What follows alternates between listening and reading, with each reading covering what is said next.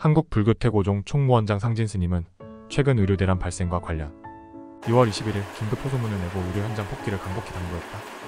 On February 21, the head of the Korean Buddhist Taego, John General Secretary Sangjin Sang, issued an urgent appeal for medical staff to return to the medical field, following the recent outbreak of medical disturbances.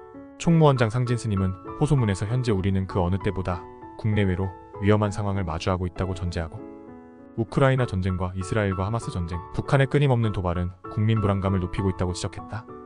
We are currently facing more dangerous situations at home and abroad than ever before, he said in the appeal, pointing out that the war in Ukraine, the Israel Hamas war, and North Korea's constant provocations are increasing public anxiety. 이어 총무원장 상진 스님은 이런 때일수록 국민화합과 단결이 더욱 더 절실히 요구된다면서 국민의 건강과 생명을 다루는 숭고한 소명의식을 되새기며 부처님의 자비심과 불교의 화쟁사상으로 임하다 보면 현명한 해결책을 찾을 수 있을 것이라고 강조했다.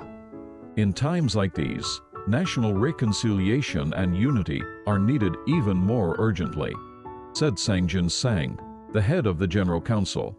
We can find wise solutions if we recall the noble calling of dealing with the health and lives of the people, and if we do so with the compassion of the Buddha and the Buddhist idea of peacemaking.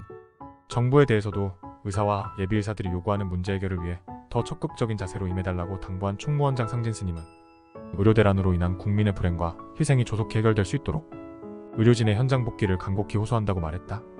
We appeal to the government to take a more proactive stance in addressing the needs of doctors and reserve doctors, said Sangjin, the head of the General Council, so that the misery and sacrifices of the people caused by the medical crisis can be resolved as soon as possible.